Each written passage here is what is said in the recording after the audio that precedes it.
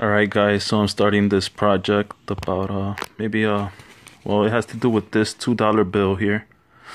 You remember like Flat Stanley and uh when the kids used to like send them around, sign them and stuff like that?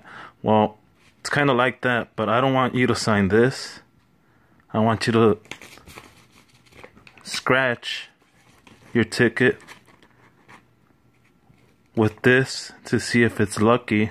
Not scratch it with this, but I mean like scratch it when you have this with you. That's what I mean. And write the results if you win or anything on this calendar. I don't know if you guys are interested.